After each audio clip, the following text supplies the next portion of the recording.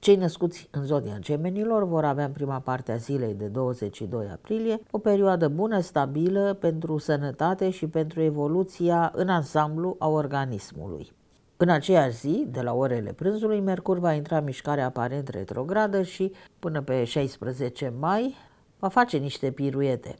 Nu va produce suferință, îmbolnăvire, nici simptome neplăcute, dar o reevaluare unei chestiuni de sănătate, da. Se va pune problema reevaluării unui diagnostic, a unui tratament, a stării generale și acest lucru nu îl va face un medic, ci îl va face chiar nativul însuși. Aceștia se vor gândi, vor analiza, vor face comparație cu alte perioade din viața și existența lor, când au trecut prin niște momente delicate, ce s-a întâmplat, cum a reacționat organismul. Poate că a reacționat la fel, poate nu, și vor constata că acum este mai bine, sunt mai stabili și pot să abordeze altfel. Chiar și un tratament, o intervenție chirurgicală sau o serie de terapii mai neplăcute. Oricum, au rezistență la stres, la durere, au răbdare și au luciditate și abordează cu bun simț toate problemele medicale. Între 22 aprilie după ora 13 și 24 aprilie, luna va străbate zodia gemenilor, se va afla în casa întâi a celor despre care vorbim acum, la un moment dat va face conjuncție și cu planeta Venus și va da acolo o predispoziție spre veselie, spre bucurie, spre o exuberanță pe care nici n-au mai trăit-o până acum. Parcă în aceste zile simt și ei cu adevărat că a venit primăvara, că s-a schimbat ceva în viața lor. Poate că povara iernii, a frigului, a unor greutăți, a stresului, a întunericului, că lipsa luminii a provocat și niște disfuncții cu siguranță și la nivel tiroidian, adică casa a 12 boluni și cronice și acum sunt mai în formă. Ziua s-a mărit, e mai cald, se mișcă mai ușor, sunt mai degajați, gândesc mai liberi, mai independenți, sunt mai spontani, sunt mai veseli, sunt mai prietenoși, sunt mai încrezători într-o serie de inițiative pe care le au și mai deschiși către o serie de propuneri care li se fac. Între 25 și 27 aprilie, mecanism uh, astral care vorbește despre o mare nevoie de a nu cheltui, de a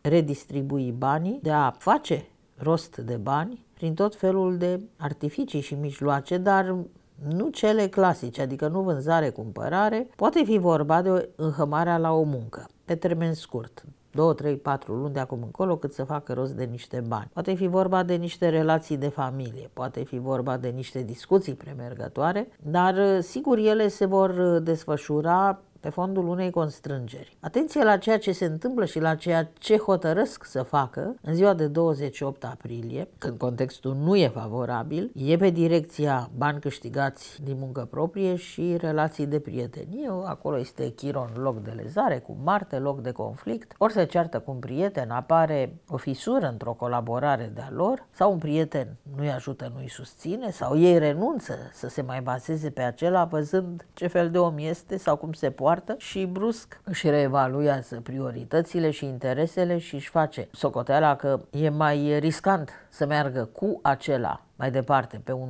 drum al unui ipotetic câștig decât să renunțe. Mai bine renunță, mai bine nu câștigă, mai bine oprește întregul proces aici decât să avanseze și să complice lucrurile și să mărească paguba la o adică. Între 27 aprilie, după ora 9 și jumătate dimineața și 28 aprilie, sectorul comunicării este măcinat de tot felul de mici, mari orgolii și vanități. Acum gemenii oricât ar fi de simpatici, niște vanități au și ei. Ei știu să le îmbrace, să le atenueze printr-o formă mai ușor de asimilat de către ceilalți. Știu să râdă, să facă has de necaz, au umor și se trece peste această latură, dar vanitatea rămâne. Și ea începe începe să fie un sfetnic prost în acest răstim, 27 și 28 aprilie, de aceea, mai ales în cadrul unor întâlniri oficiale, ședințe, întruniri, mai ales acolo unde este vorba și de prezența unor șefi superiori,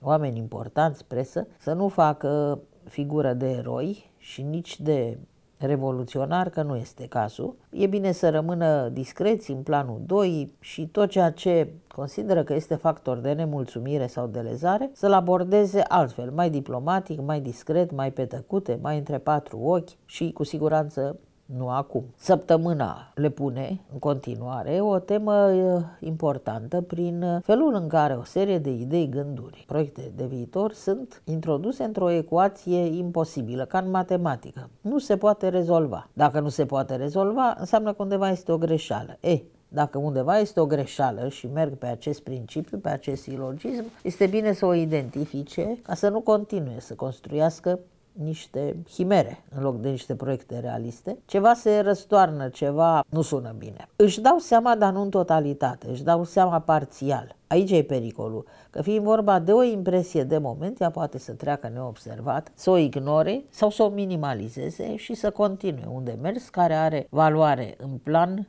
profesional, în planul evoluției, în planul studiului, în planul rafinării profesiei, în planul apropierii lor de un mod de viață și de activitate și de postură publică pe care și l-au dorit și l-au visat și pentru care au făcut o serie de eforturi, de, de mersuri în fine și care acum e pe cale să fie deteriorat de niște situații pe care dacă geamănul nu le înțelege corect, le poate chiar amplifica. Atenție la ceea ce se spune, se vorbește, se șoptește, chiar și la niște știri de două, trei rânduri undeva, într-un comentariu, într-un ziar, pe internet, în câteva fraze, într-o aluzie rostită de cineva, când se uită la televizor și ascultă o explicație, un interviu, undeva acolo există o legătură și are o conexiune cu viața lor, cu proiectele lor. Frântura aceea este esențială pentru că dacă îi dau atenția cuvenită, ea reprezintă cheia cu care pot să descuie o ușă importantă într-o ecuație personală. Dacă nu, ei se vor lovi de acea ușă închisă peste un timp. Se vor lovi la începutul lui 2024 și apoi o vor lua foarte serios în calcul din 2025.